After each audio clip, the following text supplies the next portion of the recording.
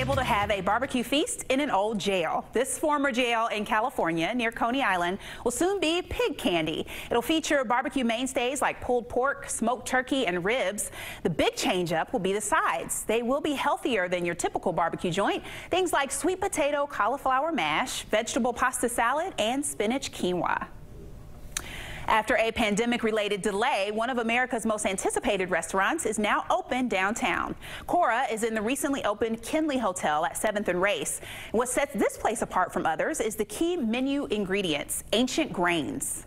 We really got to a point where we were thinking about all these different grains. We really wanted to highlight them because they all have different flavor profiles and just finding different ways to accentuate the flavors, you know, make uh, you know, kind of a unique and new experience.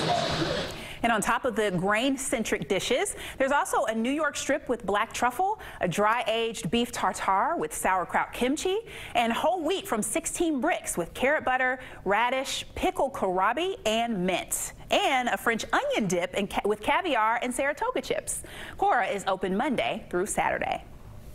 A century-old Northern Kentucky establishment is getting new owners. Butch and Marianne Wainscott sold the Greyhound Tavern after more than 30 years of operation. The Fort Mitchell, Mitchell staple is known for its fried chicken and other southern sides, like the Kentucky Hot Brown. Back in the day, it was located at the end of the line for streetcars. The new owner is One Holland Group, a company based in Taylor Mill.